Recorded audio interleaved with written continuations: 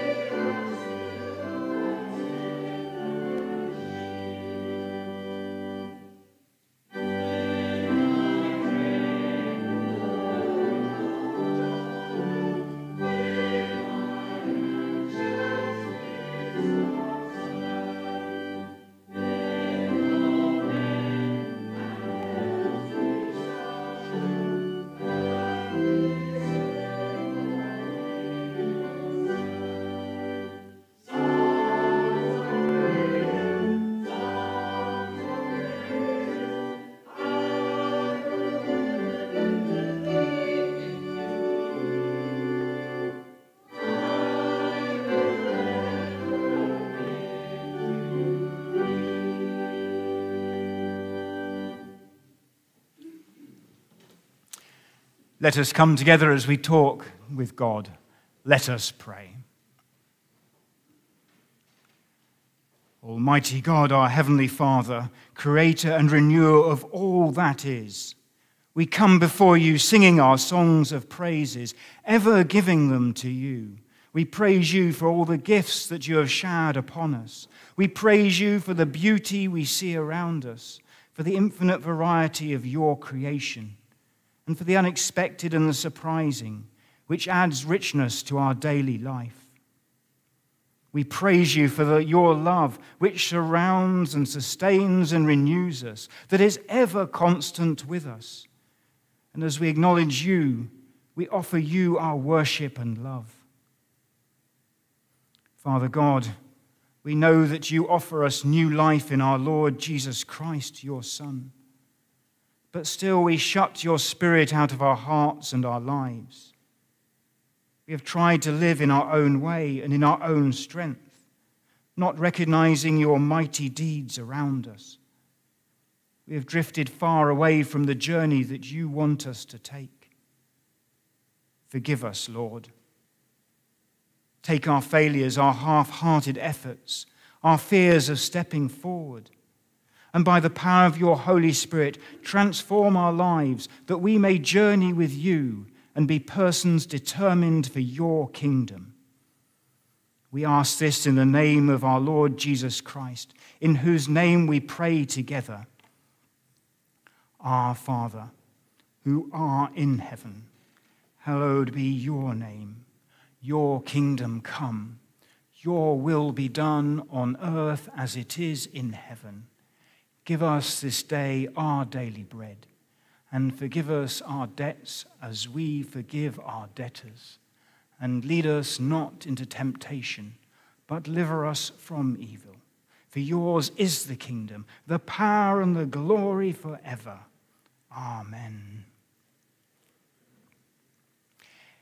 In Mark's gospel account, we have 18 miracles demonstrating the growing and expanding authority and power of Jesus. In this, Mark wishes to present to us Jesus as a teacher and master with great power. Jesus' actions saying who he is, that he is the Son of God. And as Karen said last week, that the times are fulfilled for the coming of the Messiah. Mark wants us to hear that Jesus has that authority. Although Mark's account is very short, we have three events recording about boats, and Rona is going to read one of those to us for us now.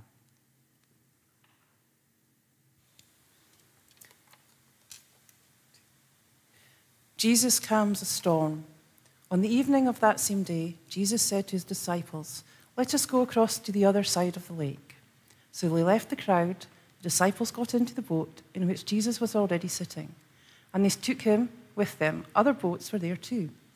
Suddenly, a strong wind blew up, and the waves began to spill over into the boat, so that it was about to fill with water. Jesus was in the back of the boat, sleeping with his head on a pillow. The disciples woke him and said, Teacher, do you not care that we are about to die? Jesus stood up and commanded them, the wind, be quiet. And then he said to the waves, Be still. The wind died down, and there was a great calm. Then Jesus said to his disciples, Why are you frightened? Do you still have no faith? But they were terribly afraid and began to say to one another, Who is this man? Even the wind and the waves obey him. Amen, and thanks be to God for his word to us. Thank you, Rona. We're now going to sing another song together. All over the world, the Spirit is moving.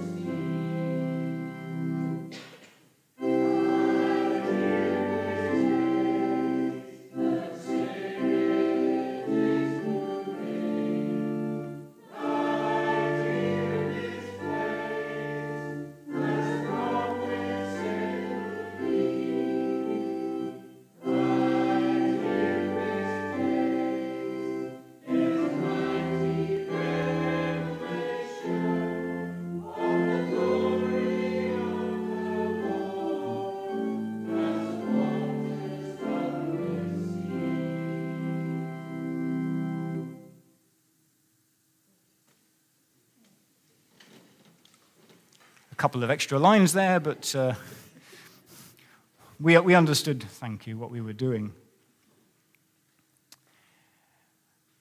I'm going to start today with a little bit of a quiz. Who recognizes this person? Fiona's got a hand up, but anybody else? Rona's got a hand up. Go on. Michael Fish, the, the weatherman. No, no, that's good. Now the question is can anybody tell me what he was famous for? What it was called?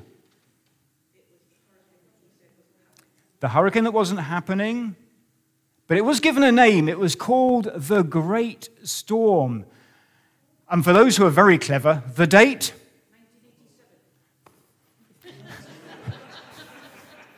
There you go. There, there, has to be somebody very clever amongst us. Well, well, well done. It was 90, it was, was 1987. And three years later, in 1990, there was the Great Burns Day Storm.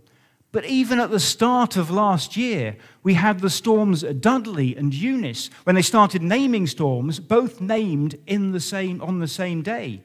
And I remember going up to Corsica for a service, to take a service up there not long after that, driving along the road and going through all the trees, cut through one after another.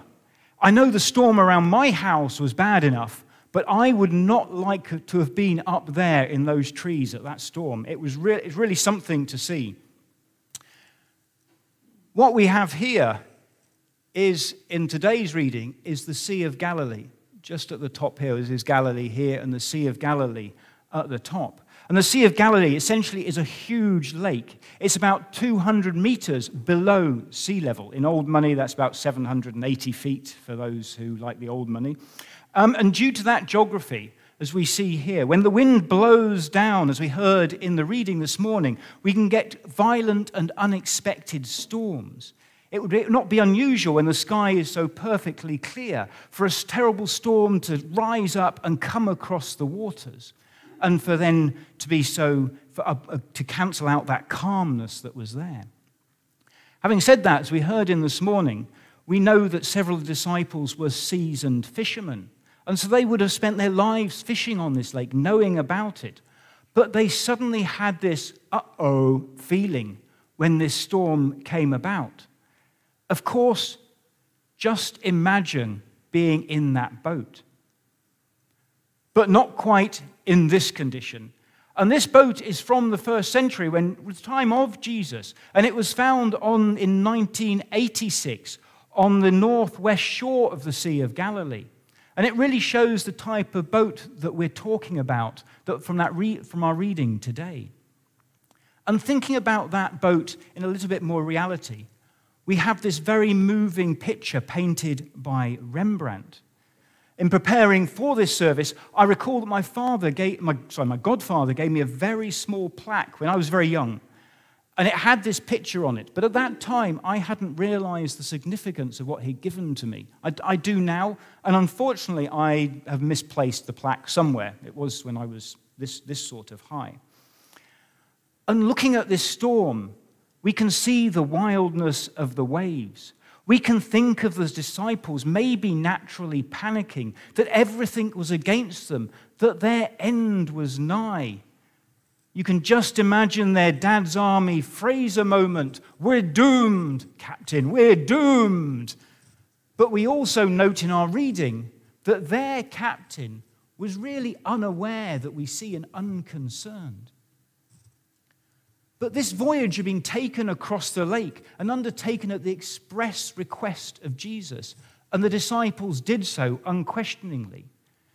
This then may have made the calming of the storm all the more harder for them to understand, for them to uh, really trying to get their head around the relaxed attitude of Jesus, that being quite baffling to them. But we can see that Jesus' sleep did not only show natural weariness, part of his humanity, it also showed his tranquil faith. It's interesting that in Mark, that compared with the corresponding uh, accounts in the Matthew and Luke Gospels, as you heard Rona read, it talks about Jesus' head on a pillow. You don't, you don't get that in the other two gospel accounts. Anyway, from today's reading, we note that it's more than mere observation watching Jesus, more than listening to him, more than hearing him, was required by the disciples for true discipleship on their journey with Jesus. This event could have possibly just passed by if the disciples had realized that with Jesus in their boat, Jesus resting in their midst, they were perfectly safe in the storm. Their waking him showed how far they still had to go on their journey. And this is not so different from last week at Elevenses, for those who are here, when the Reverend Karen was talking about the people of Israel being asleep, that they were to wake up and understand. Okay, here it's Jesus asleep, but in reality, the disciples also were still asleep. They were still asleep to the truth. Having been woken, Jesus calms the storm. And for those of us also here on Sunday, we heard about the healing of the paralyzed man let down through the roof.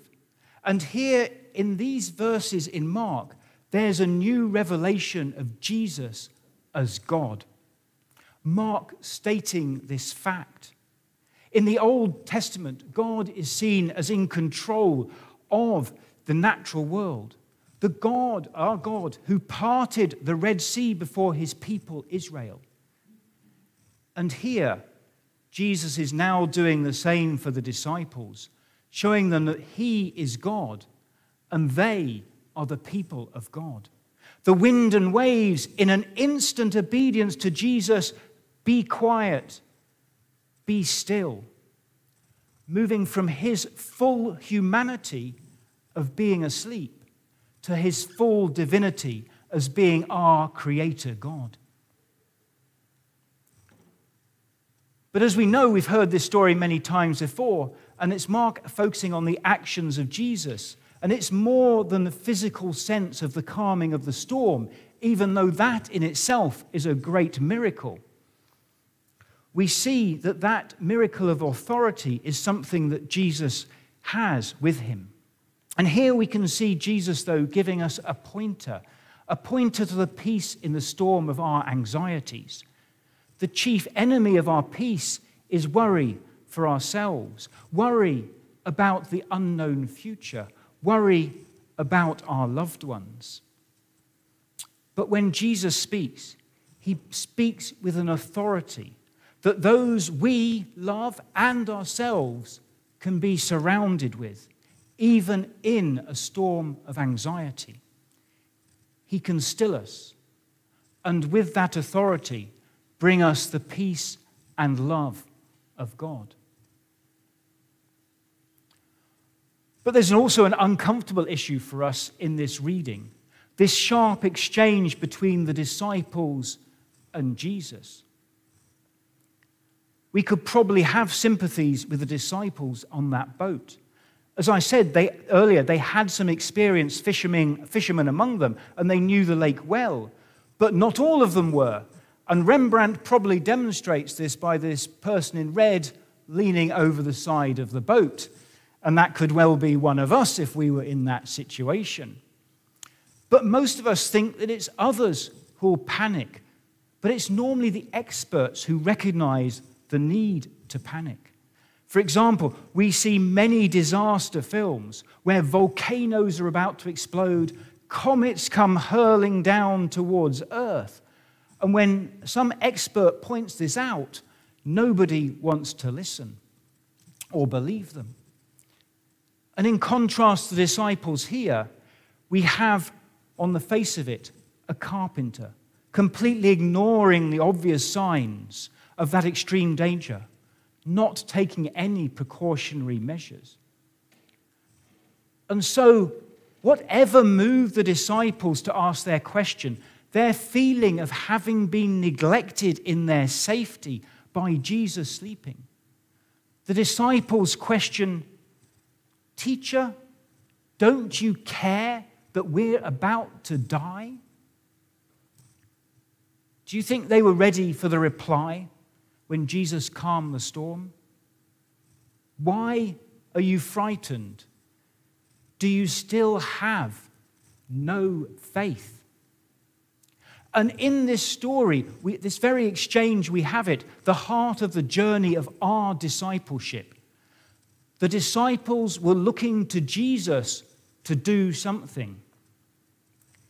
Jesus was looking at the disciples to trust him.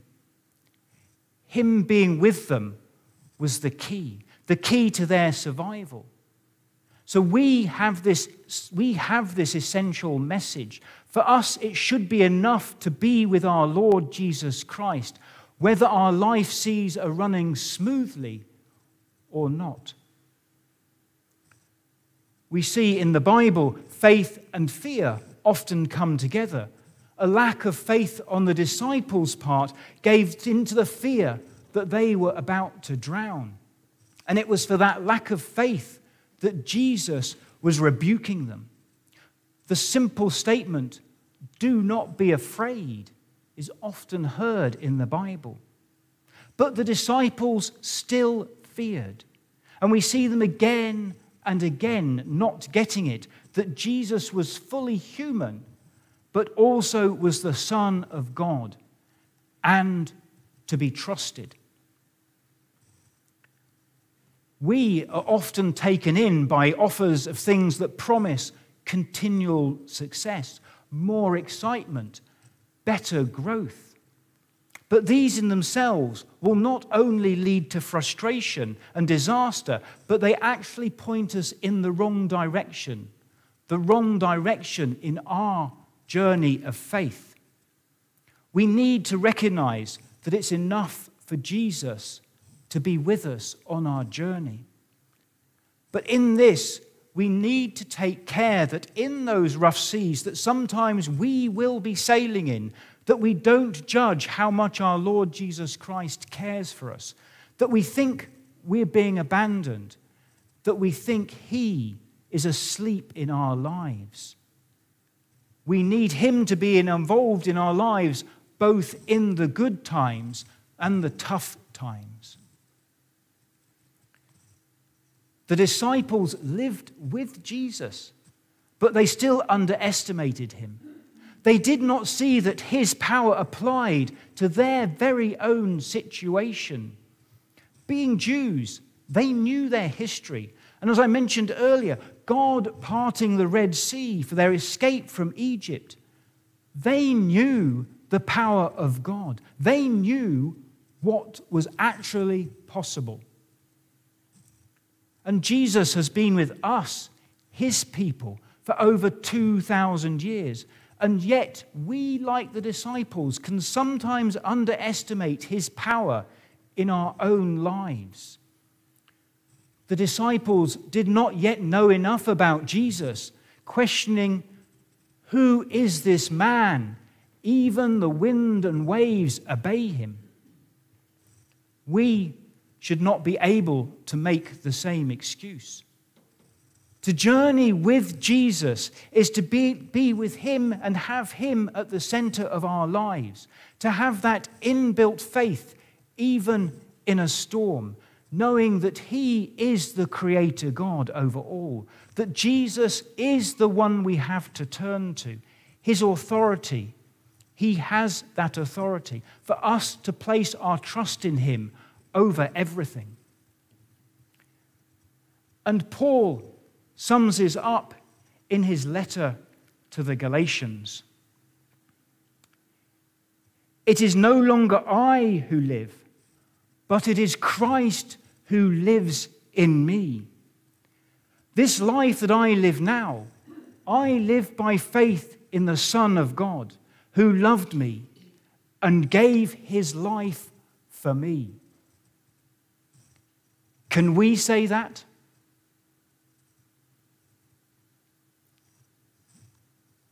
We come before God again in prayer, let us pray. Ever loving God, we, your people, come putting our trust in you to have you at the center of our lives. We give you thanks this day for all you do for us. You have created us and you sustain us, and your loving arms embrace us and all our brothers and sisters here in our community and of many nations. Yet, Lord, there are many storms all around us. We wake each day to the troubles across your world. We lift before you the many small and large wars that rage on, that bring so much death and destruction, not only to those actively fighting, but those caught up directly because of where they just happen to be living, and indirectly with all the knock on consequences that we see of these wars. We pray especially for Ukraine that your guiding hand may come into the situation and your love surround all those suffering. As well, we pray for the situation in Palestine and Israel, the place where you lived your life on earth and calmed storms. We ask you to come into the tension there with your words of authority, that your peace may come over the land. And as we heard from the psalmist, your kingdom is founded on righteousness and justice. Yet there are many storms of unrighteousness and injustice. We lift to you all those who are struggling as refugees, those locked in modern slavery, those suffering abuse. May your love come into these situations and may you deliver them from oppression. We hear of natural disasters, the latest in Turkey and Syria, with many thousands dead and many more affected. You know their needs, and we pray that all the aid offered by many countries will meet those needs. We pray for all those helping in the recovery. Give them strength in all they do. And as we look out of our own windows, we see the storms in our own community we pray for all those affected by the cost of living, the real impact this is having on their lives in many ways, including their mental and physical health. May they hear in loving tenderness your authoritative words Be still. And may the work done from here at the Lowsons speak into their hearts, that they may come to know your kingdom and all they mean to you. We pray for all those known to us who are faced with sickness, those nearing the end of this life, and those who have recently lost loved ones. May they and their families know to turn to you in trust, seeking your sustaining love. We ask you to give them your comfort and your peace. We take a moment to lift before you those we wish to individually name.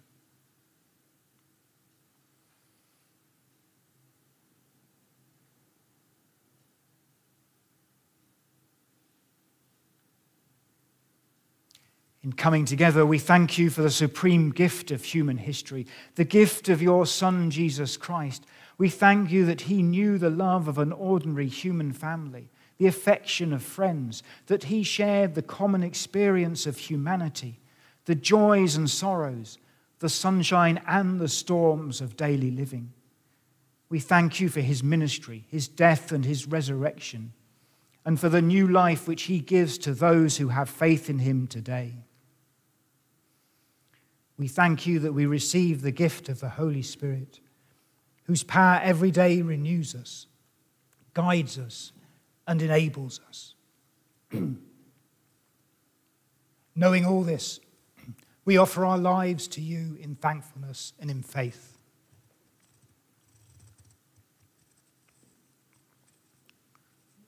And we ask that you'll use each one of us in the service of your kingdom that in doing so, we will place you at the center of our lives in the authority that you have over our lives. We pray all this in and through the name of our Lord Jesus Christ, our Savior and Redeemer. Amen.